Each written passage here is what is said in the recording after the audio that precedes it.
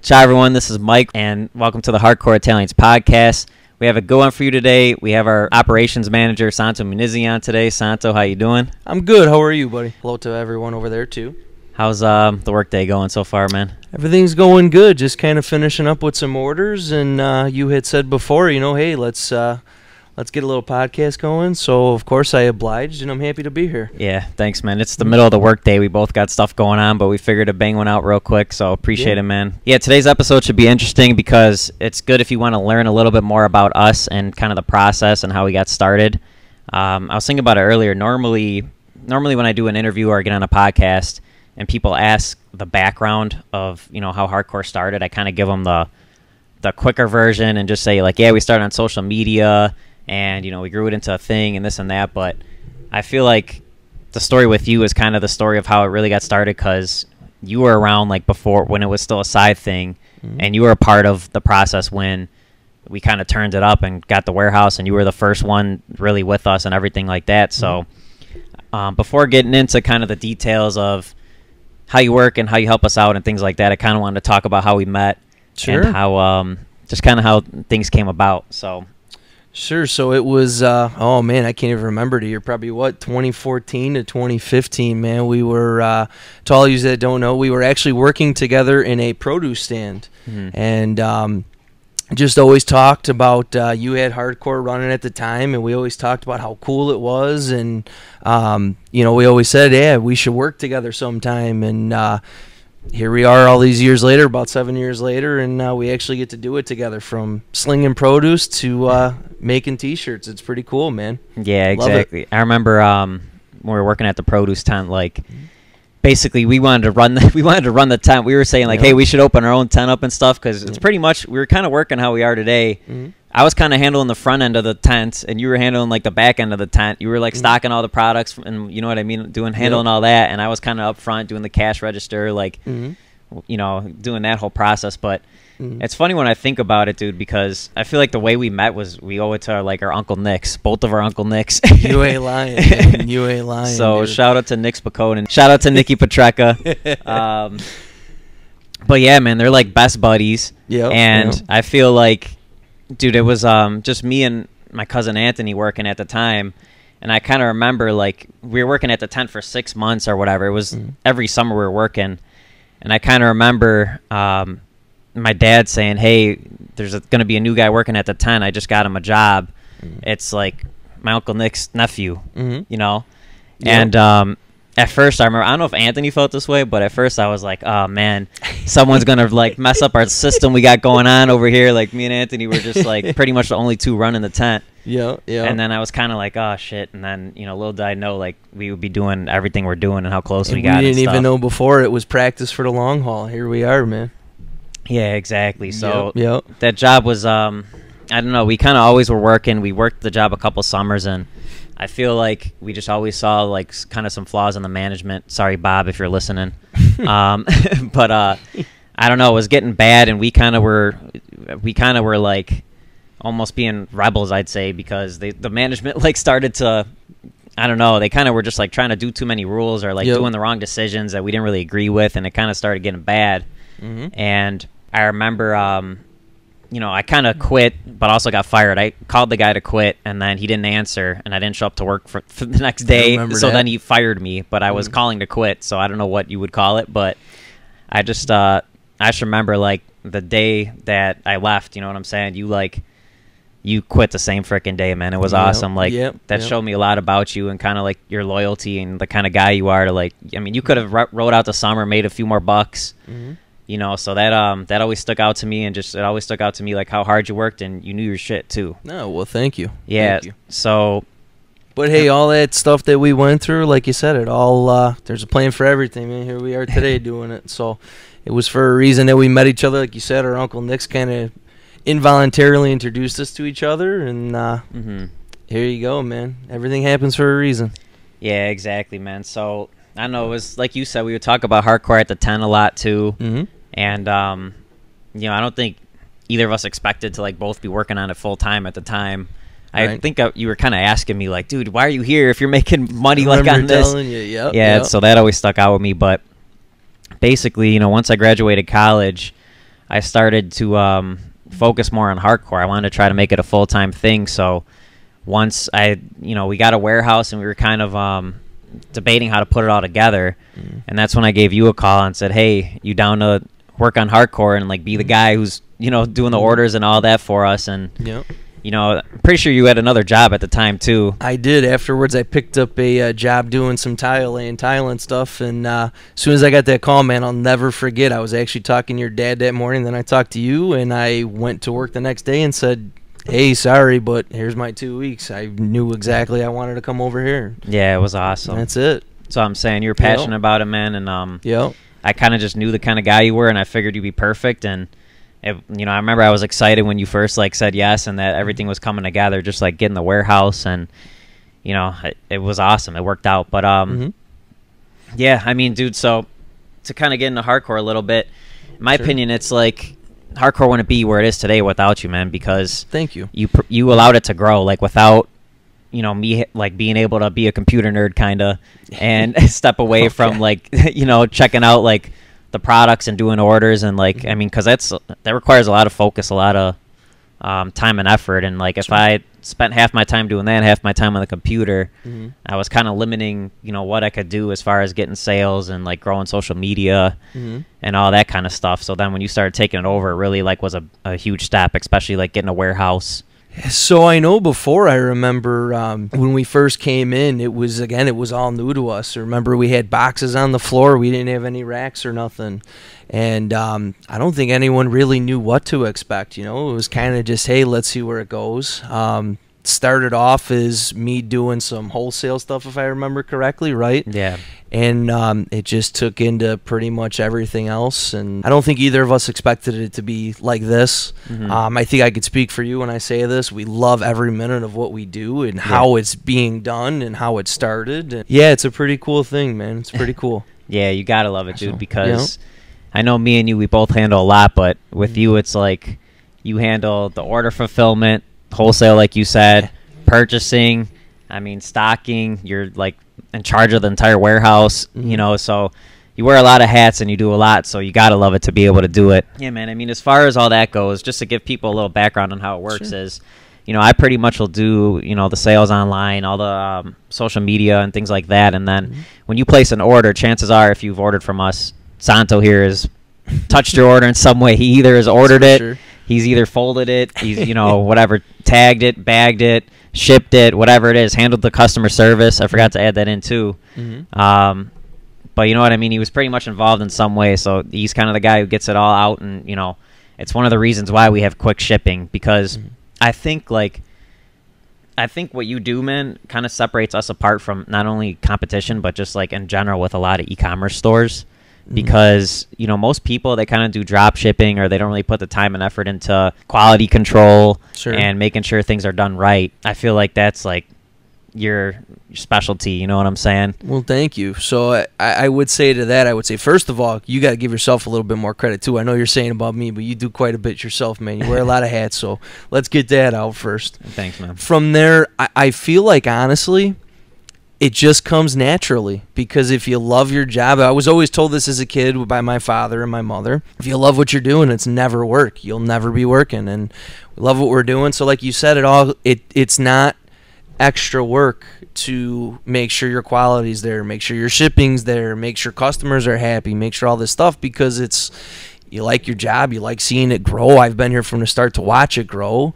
Like I said, it all just comes kind of naturally to be honest with you. It's pretty cool. hmm yeah and know? you feel like kind of everything because you learned a lot i know we both have but Mhm. do you feel like you know i know you said it's natural but how long do you think like it really took you to get in a groove with just everything in general because there's so many components you know Yeah, I, I mean, I would say when we first started, obviously it was like, oh yeah, we're good, we got this down, whatever. It took a lot more than those first six Yeah. months a year. Well, so. we had no systems in the beginning either. No. like I know now No. there's like Excel files and all this stuff written out Uh-huh. and whatever handbooks and things like that. But when you first started, we just, like you said, we kind of just were figuring it out and everything was thrown into a warehouse and we were just kind of like, let's see. We were switching from Weebly to Shopify even. Yeah, exactly. and that was my thing. I always remember that was like my um again how it was before and how it was was now was I always reference the bins on the ground. Yeah. We had four high against the wall, and now we're at what 27 racks, 28 racks of clothing. Like you said, we have all of our organization again kind of just the way we operate things and all of our systems you know Yeah. so it definitely it's it's taken a few years for sure to get to where we are now. Obviously, we're always trying to improve everything. You're never going to be perfect. That's the one thing ever, you know, a lot of people kind of lose sight of. Mhm. Um, so we're constantly trying to improve everything. I know you are, I am myself. Um, but yeah, I would say it, it did definitely take a couple years to get where we are now. So Mhm. we've come a long way. Yeah, and so as far as to what you do with purchasing, just in Mhm. case like anyone has, you know, anyone that's ever curious about how that works with the site and how we kind of stock things and how much inventory we have, how would you say you're doing that? Because you're basically ordering every single week. You Mhm. know, do you want to shed a little light about when you restock a design or how we do new designs and how many you usually start with and when you kind of know when to reorder, Mhm. how you do seasonal stuff? Like, you want to give kind of your thoughts behind how you do all that, just so people know if they ever want to buy something, why it might be sold out or when they can expect new stuff. No, sure. So what we've learned over time is um again, as far as doing new things, we can't unfortunately start buying in thousands and stuff like that because obviously we want to see how people react, how people like it, all that good stuff. Um, so usually when I order to start, I usually stick to about you know 100, 150 pieces, something like that. Um, and then we kind of look at numbers and say, okay, well these sizes sold most. I need this size, or um, again, this sold out in three weeks. Yeah, let's go ahead and order four or five hundred more. Um, and that's where it helps. You know, um, I have a lot of different suppliers that you have to be in touch with, and you make phone calls every day to these people. So you definitely try to get stuff. And I have a system planned to where you know you try to get as quick as you can to restock certain things. Um, but obviously, it, it gets a little complicated when you have as many products as we do. Um, but again, you try to keep up with it as much as you can. You know, you kind of find a rhythm and you keep going. You know, you try to, if something's out of stock, maybe after two weeks, you go ahead, okay, I really need to reorder this. Let's get some more in. And then, like I said, it kind of goes back to the, um, kind of how much was sold. Then you say, okay, get it 200, 400, whatever it may be, you know. Mm-hmm. So, And then as far as the quality too, like I know, like kind of how I was mentioning, quality control is pretty important. So Mhm. what do you say you do for the quality control as far as when you're ordering? What do you try to do, like design wise, but then also when you get it in, how do you do your checks and and kind of make sure everything's nice on the site? Yeah, sure. When I do as far as ordering, um, I always check our stuff before it gets. This would be, I'd say, the first step before it gets to our silk screener. We always have some of our team members look through the shirts, make sure, hey, there's no holes in them, there's no, uh, you know, brown stains, there's no whatever it may be. So that would be the first step. From there, it kind of comes in, like you said, the art. So I'm on the phone with, you know, the our screening guy, our artist every day, making sure about sizes, about colors, about all that good stuff. And then it goes into now after the screening process, then we take them back here. Now, I like myself, and I also have, you know, our girls downstairs, you know, some of our workers will do it with me, um, but we always check every single piece by hand to ensure that again, you know, not everybody's perfect. We may miss one out of a thousand, but some people don't take that step, and it's you know it shows when they get stuff, and we want to make sure that what you're ordering is what you're getting, and it's perfection to a T from the last stitch on that shirt, hoodie, hat, whatever it may be. Exactly, because mm-hmm. I feel like a lot of people don't realize when you're ordering shirts or whatever the amount of spoilage that can come along with it. Oh, like you said, this one might have a hole. This one might have a burn mark when they, you know, uh, run it through the silkscreen machines and stuff. Sure. So yeah, it's like it's probably tedious because you got to check 500 T-shirts or whatever Mhm. and go one by one, tag Yep. them all and stuff like that. So, is it um, I don't know, is it kind of easy for you at this point? You've been doing it for so long, you're probably just Oh, yeah. super quick with it now. And Yeah, you know, after probably doing, I don't know, I'd probably set the bar at maybe about 30,000 shirts so far since I've been here. So you get used to it after a while. You see what to look for, and, mhm. you know, you get the hang of it, that's for sure. as far as too, because I know you talked about just how you have a passion for everything, and I kind of want to at least bring up this about your Italian background, man, because we always joke about it. I think you already know what I'm about oh, to say. I already know. Yeah. So the soppressata, man. Yeah, Um, Your family recipe is insane. You've been doing it. I don't know how many generations it's passed down or how many years you guys have been doing it, but Yep, yep. it's literally the best. Like I've ever had. well, thank you. We always joke that you could sell it for like two thousand a pound or whatever it is, and that you guys would be like rich if you ever sold it. But it's like a family tradition that you guys keep just between yourselves. So know, I'd love for you to kind of get into the details of that, man, and just explain how that because it's awesome. It's a cool Italian tradition, sure. and sure. you know, wh- however much you're able to say about it, about the background no. of the story. You're fine. Well, be again. I know you know. Unfortunately, I can't say anything about the recipe. You know how that goes. That's that was my nanu, my grandfather. Um, he always taught us that. You know, my great grandfather. Unfortunately, I was never able to meet him. He died before I was born. But he actually from Calabria. When they came over, they brought um, you know all the old school. We used to make wine, the wine presses, everything. They all brought all those traditions. With one of them being making the soppressata. We've been doing it since the early teens back here, and my nanu's been doing it. Um, it's always it, it's a tradition we want never want to let die in my family and um, you know we make on average probably seven to eight hundred pounds of it a year between you know there's about. That's so much, dude. No. Yeah. no, there's about, you know, 10 of us that get together. We all kind of pitch in and, uh, you know, everyone gets theirs a little hotter, maybe a little less hotter. Um, but yeah, we run, it's like a two day event always. And usually, you know, December, January, February. And, um, like I said, it's been a thing since I was. They have pictures of me two years old turning the casings the Standines. you know, it's it's always been a thing. That's awesome. Yep. And, um, so how many does 800 pounds get 10 people, you think? So usually you get each stick's probably about a pound, maybe a little under a pound. So if I make 800 pounds, now you got to keep in mind too, some of the fat comes out. We try to trim it. Um, so let's say if you have exactly 800 pounds, you'd probably make about 850 sticks, maybe 900 sticks of it, something like that. Mm-hmm. So I gotcha. it's quite a few, that's for sure. Yeah, It's so quite um, a few. And how many like are you pretty much allowed or that you try to shoot for that you can, you're able to give out to other people, family and friends and stuff out of that? Like, Well, pers- you you know what kind of percentage is that? You know how this is too. A lot of people ask for it. You have to be pretty close with the Munizzi family if they let you get any supersad, you know. That we call it supersad or soppressata. There's really no boundaries of, you know, we could give it all away, but it was always the thing my nanu said, and I have people all the time, oh, well, where can I buy it? I was actually just talking to someone the other day on the phone that uh, that asked me where he could No buy it at or if he could buy it from me. Yeah. No way. And um, I told him, I said, look, I said, you can't buy it, unfortunately, but I tell you what, you're a pretty good friend.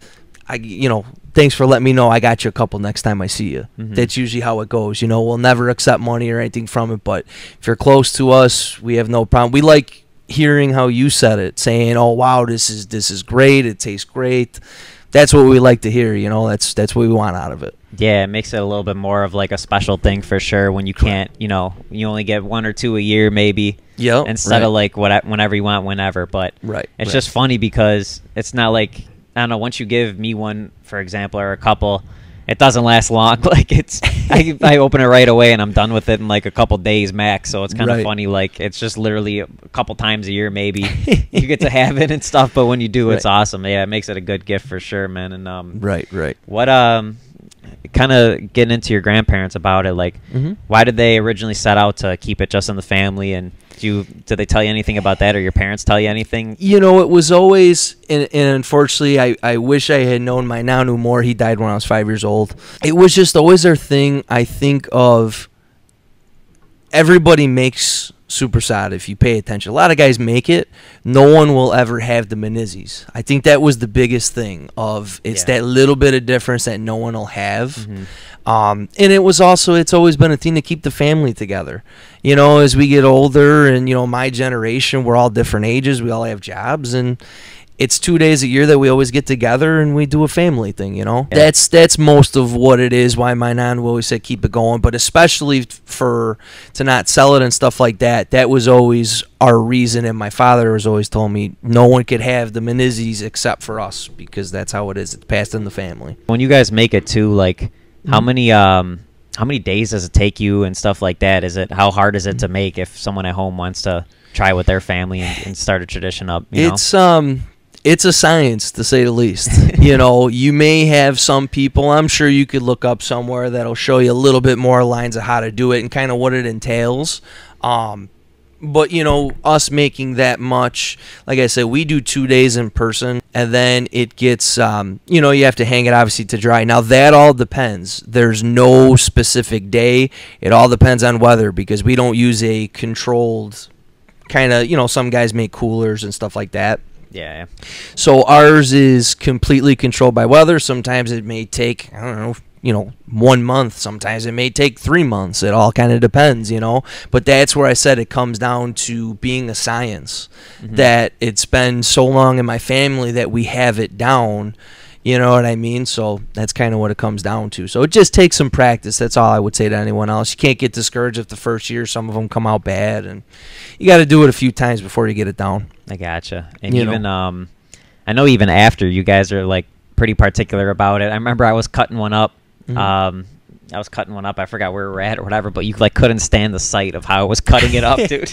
Cutting it too thick, man. Yeah, I was Gotta be cutting it- nice and thin. I was cutting it thick, and you Yeah. literally couldn't stand the sight of me doing it. So you took over the knife and you were cutting it real thin. Uh huh. And I did kind of notice, like when it's thinner, it tastes a lot better when you're cutting it. And Yep. also, what I love, what you guys do is you cut the skin off beforehand, Yep. so you're not freaking ripping off bite like pieces of skin every bite. Sure. So I don't know. I, th- I like that too. It's like you kind of just get it done with, and then you Mhm. don't have to worry. You could just eat because with those things, you want to devour them. oh yeah, absolutely. No, but that's the thing. That's my definite advice. Paper thin. Take a razor blade to that. yeah, thing. I was gonna Gotta say, dude. I was. I was just gonna say, it reminds me Uh-huh. of um, Goodfellas, where he's got the So razor blade yep. and he's freaking doing it with the garlic. That's what you got to do. Yeah, for Yep. some reason, thinner's always better, man. It's funny. Yep.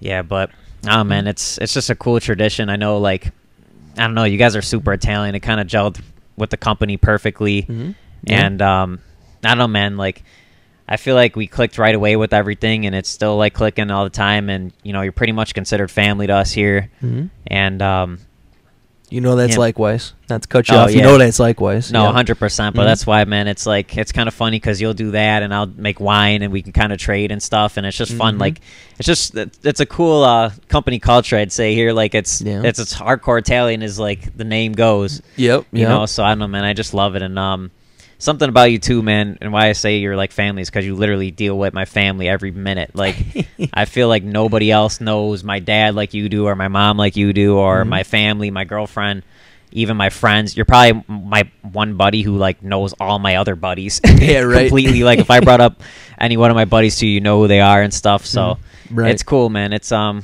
we got a good thing going, and it's like Mhm. I'm we can trust each other with shit. Absolutely. And as far as like how we've been grooving, I mean, we got to be in constant communication with how you order and kind of how I do the marketing. We're planning months in advance for stuff, Mm-hmm.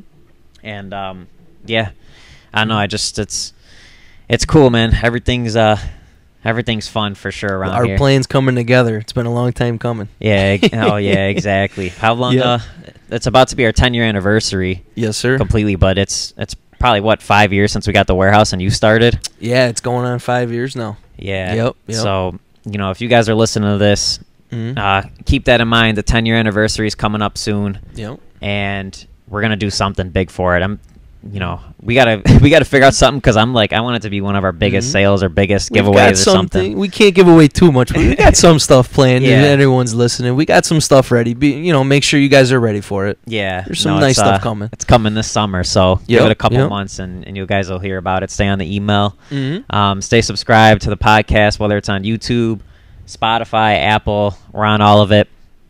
And uh, guys, if you ever have any questions for us, or you want to um, learn more about the company itself, please write us in. Um, you know, DM us on the podcast page or comment on YouTube.